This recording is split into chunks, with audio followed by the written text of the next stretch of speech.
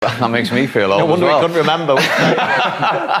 They've won twice in 30 visits. You were talking at half time about mentality and, and the ground. What does that do to go and not only win, but win by that scoreline at Anfield? Yeah, that'll be huge. Uh, I'm sure Pep was trying to install that message at half time to kind of get back to a rhythm and a bit more courage. We've seen Phil Foden in the first half. Yes, he, he said he enjoyed playing the, the number nine. I think he would enjoy playing anywhere because he loves the game, but you don't see the best of him in that position. Uh, he was isolated a lot in the first half and so when the team moved up the field in the second half and, and got closer to him, he was able to link up uh, a bit more. We've seen it in the first goal, and that's when you see the best of Phil Foden. Now, you and Michael said at half time you wanted to see some more courage from Liverpool in the second half, but four minutes in, they were behind. Yeah, and um, it was it was if anything, it, Manchester City who had we were more courageous in the second half, wanting to play forward. This is lovely play, isn't it? Between between the, the, the City players, they kept the ball well, and this was too that's too easy. That Raheem Sterling is dangerous, but he shouldn't be that dangerous. He goes past Trent far too easily. You know, there's nothing there, and then once he's driving at Fabinho, he starts backing off, and you have to give credit to Gundogan. Yes, he missed the penalty; it was a poor penalty but he's in the right place at the right time just in case this happens. And he gets on the score sheet yet again, and that's a marvellous thing for him. Yeah, having missed that penalty in the first half, of course, much to the delight of Pep Guardiola. From a defensive point of view, Joleon, uh, Trent Alexander-Arnold on a couple of occasions really exposed today. Yeah, I think you see it in the first half when he, he, gets there. Initially, he's in a great body position, but he's too he's too deep. To be honest, he needs to. If you're going to show the line, you have to be on the same line as the attacker, which means then you're forcing him down there. And if he drives inside, he runs into you. Because I think if you see, Raheem Sterling doesn't have to cut back to go inside. He just drives inside because that's where the space is. And as I said, that's it's easy to do when you when you're looking at it. Like Trent Arnold here now, he gets himself in a good position. I think if he stays in that position, it would have been fine. But the fact that he's he's deeper than Raheem, Raheem doesn't have to cut back. He's just driving straight inside now to to Fabinho. And if you look at his line as well, it's not necessarily great, but there's obviously something that is not being taught at Liverpool because we've seen it multiple times in the second half as well. I think I think a lot of I think a lot of the time we we it's as if people are not taught how to defend one on one anymore because everybody's so obsessed with playing out from the back and playing forward and making all nice passes. And as Joleon said, it's exactly the same here. In the end, Raheem Sterling knows I've got the better of this person today, and he just runs at him and runs at him constantly, shakes his shoulders and flies past him. And it was, it, I think it happened a lot with every single Liverpool defender today. You see the, the last goal, Foden goes, shakes his shoulders past Andy Robertson and gets his shot away. He, at, at, times, Jordan Henderson doesn't think like a centre defender, and nor should he think like a centre defender. And he got caught, and Fabinho got caught for the penalty early on, and in the second second half at times. And I think that's the main problem for Liverpool. They've got players who can defend and defend well, but when you've got high quality running at these players, mm. it's as if they don't know what to do because they, they're thinking about going forward too often. Sometimes you need to say, right, we are going back to the training ground. Me and you, we're going to do one on one. I'm going to get wingers running at you, and you have to defend them. And I think that's what will make them better. And the problem is, the fullbacks at Liverpool hardly ever get ran yeah. at, do yeah. they? They're yeah. always in possession, and all we do is sit here and talk about, oh, what a wonderful cross, what a great, what a great overlap, what a great, what a great assist. assist. Look at the look at the assist table, and it's all fair enough, and it's you know it's understandable. But occasionally you play against the big boys, you know, and they've got good players as well. You might play in a Champions League final or at Anfield against Man City. Occasionally you have to, you know, you, you have to do the things that you, you're not asked every single day of the week to do. And when you're not practicing it, when it's not happening every single day or every single week, you get rusty. You, you know, you, you can't do it. And there were so many examples tonight. And in fact, it was almost a sad indictment of, of, of how Raheem Sterling was feeling towards Trent Alexander-Arnold. Because later on in the game, he ran at him. He gave the ball away, granted.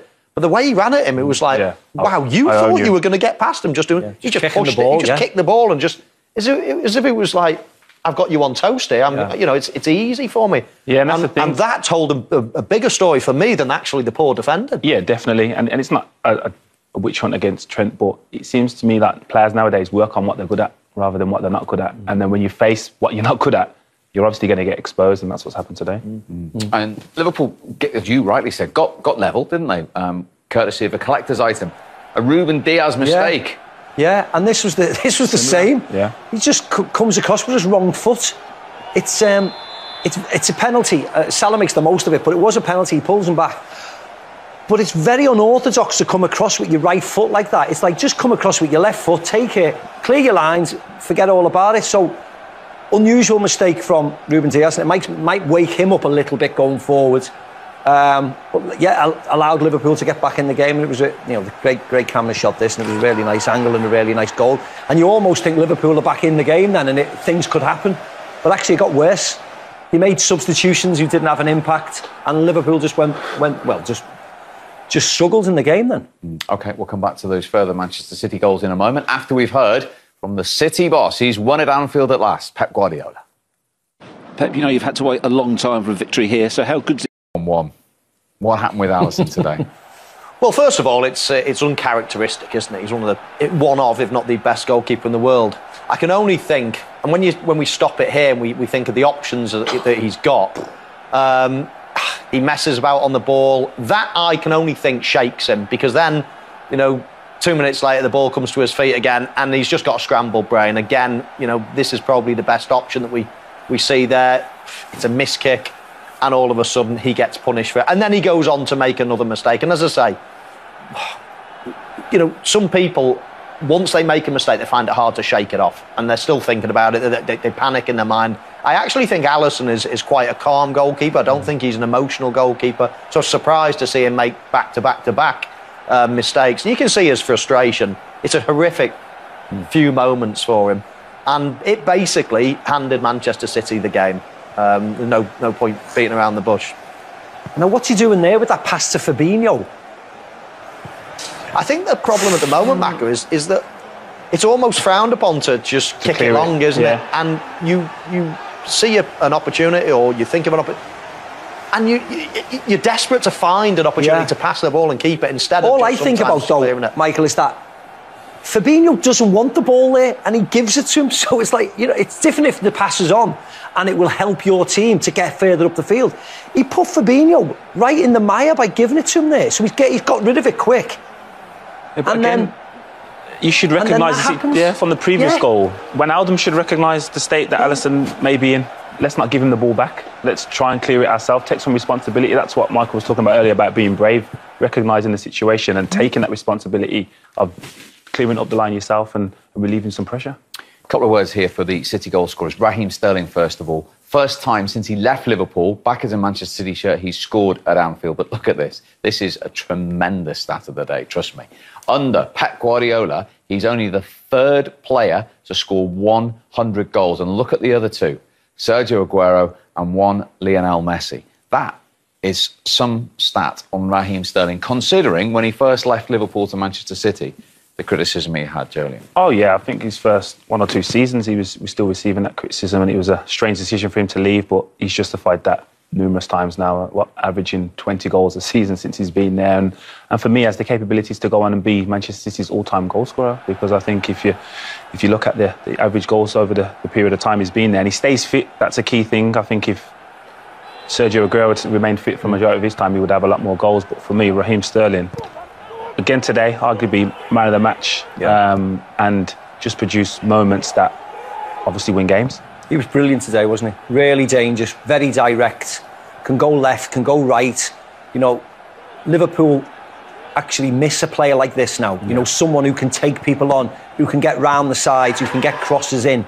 Liverpool are a bit one-dimensional at this moment in time in the in the forward areas yeah, he was um, really confident today, on form, and he gets he gets this goal, one of the easiest that he'll ever get. Saved on a plate by Bernardo, but uh, he deserved it. He was he was brilliant today.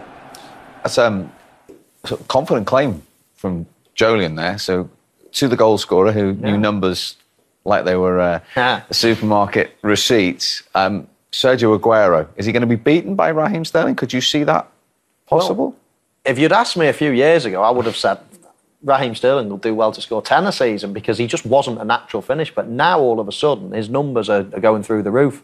He's very, very tough and durable. He hardly ever misses a game through injury.